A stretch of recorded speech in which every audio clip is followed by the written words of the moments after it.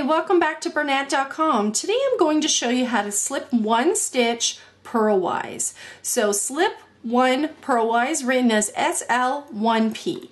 So basically when you want to slip purlwise, you want to go into your stitch as if you are about to purl stitch it.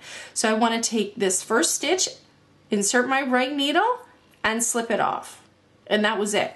So here we go again. I want to do it as if I was about to purl so I want to come in through the front from the right side to the left side of my stitch and slip that off. And that's all there is to it. I hope to see you again at Bernat.com.